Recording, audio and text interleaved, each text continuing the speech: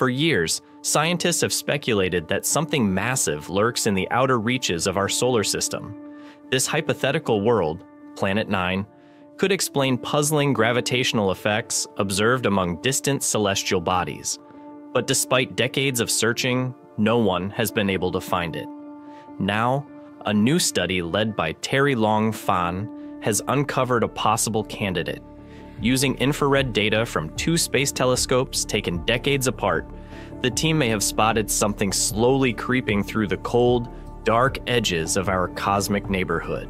In this video, we'll explore the evidence, the science behind the discovery, and what it could mean for the future of planetary astronomy. The renewed interest in Planet 9 began in 2016 when astronomers Konstantin Batygin and Mike Brown analyzed the orbits of several trans-Neptunian objects, TNOs. These small, icy worlds orbit far beyond Neptune and showed a strange clustering in their orbital elements, particularly their arguments of perihelion and longitude of ascending node. This kind of alignment is statistically unlikely unless something massive is shaping their paths. The best explanation is a large planet between 5 and 10 times Earth's mass, on a wide, eccentric orbit ranging from 400 to 800 astronomical units, AU. At these distances, orbital periods stretch into tens of thousands of years, and any gravitational influence from known planets becomes negligible. Yet, such an object could shepherd TNOs into aligned orbits through a process known as mean motion resonance, or secular perturbation. Detecting Planet 9 is a technical challenge. At 800 astronomical units, sunlight is about 0.01% as strong as it is on Earth, making reflected light incredibly faint. Even large objects at that distance would fall below the sensitivity of many optical surveys. Infrared detection becomes a more viable option since massive planets emit residual heat from formation, detectable in far infrared wavelengths even after billions of years. That's why Phan and his team didn't just look harder, they looked smarter. They searched existing infrared data for signatures of slow, faint movement, an approach that takes advantage of how distant bodies behave over long baselines.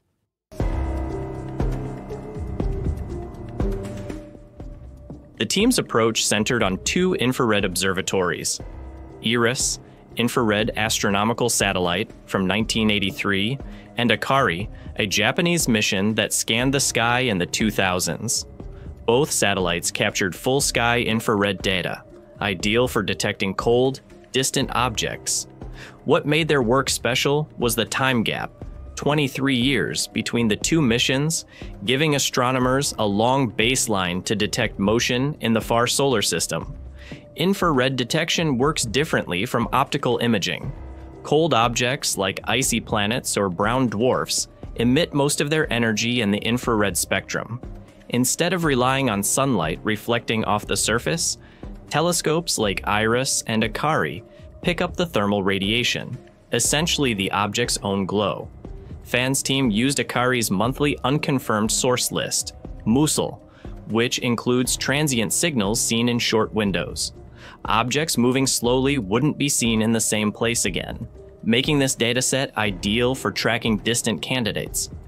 The researchers developed simulations to estimate Planet 9's apparent brightness based on mass and temperature, applying those models to cross-reference IRAS and Akari data. They applied strict filtering based on brightness and expected motion, narrowing down from thousands of detections to just 13 candidates. Of these, one object met all criteria. Its movement between epochs matched predictions, and it wasn't visible in periods where it shouldn't be. The angular separation between the detections, around 42 to 69 arc minutes, was consistent with an object slowly orbiting at hundreds of astronomical units. Importantly, this candidate only appeared in the expected time windows, with no repeat detections before or after, ruling out common infrared noise or background stars. If real, it could be a genuine slow moving object in the solar system, possibly even the long sought Planet 9.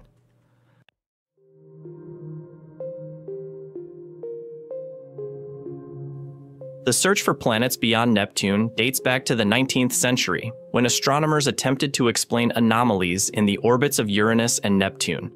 These early efforts led to Pluto's discovery, but Pluto lacked the mass to explain the observed irregularities. In recent decades, the detection of unusual TNOs, like Sedna and 2012 VP113, revived the theory of an unseen massive planet tugging at their orbits. What distinguishes the current study is its use of archival data to track movement that unfolds over decades. Instead of relying on short term observations, the team leveraged the concept of astrometric displacement, tracking how a nearby object appears to shift slightly against a backdrop of fixed stars due to its own slow movement across the sky. This is especially valuable for outer solar system searches, where motion is too subtle to be spotted over short periods. The next step is crucial confirming this candidate through optical observations and measuring its orbit. For that, Phan's team proposes using the dark energy camera at the Cerro Tololo Inter-American Observatory in Chile. DECAM offers a combination of deep imaging and wide sky coverage, essential for catching faint, slow-moving bodies. Once observed again, scientists can calculate the object's proper motion, which, if consistent, would provide enough data to begin plotting an orbit. If that orbit is stable and solar bound, and if the object shows sufficient mass based on brightness and temperature, we might finally have a confirmed new planet. But it's also possible this object is something else a super Earth sized brown dwarf, a scattered disk object, or even a former rogue planet captured during the solar system's chaotic early days. Each scenario holds enormous scientific value. The implications of confirming Planet 9 would be enormous. It would force astronomers to revise models of solar system formation, particularly the role of planetary migration and gravitational ejection. Did Planet 9 form near Jupiter and get flung outward, or was it captured from another stellar system during the Sun's youth? Whatever the outcome, the discovery process itself underscores the power of combining historical data with modern computing and scientific imagination. The solar system isn't a finished puzzle, it's a dynamic system still full of surprises. We're closer than ever to answering a question that has fascinated astronomers for generations. The candidate found by Terry Long Phan's team is the most promising lead yet, not because it's flashy, but because it fits the scientific expectations. A faint, slow moving object seen in two surveys decades apart, with no detections at the wrong times and a brightness that lines up with predictions. This could be the moment we turn theory into reality. Further observations will decide whether it's truly a new planet or another strange member of our distant cosmic family. But either way, this journey, driven by patience, science, and curiosity, reminds us that even in the digital age, there's still value in looking back to go forward.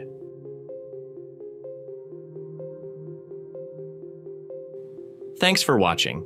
If you enjoyed this video, please like, share, and subscribe for more fascinating space stories. Stay curious and keep looking up.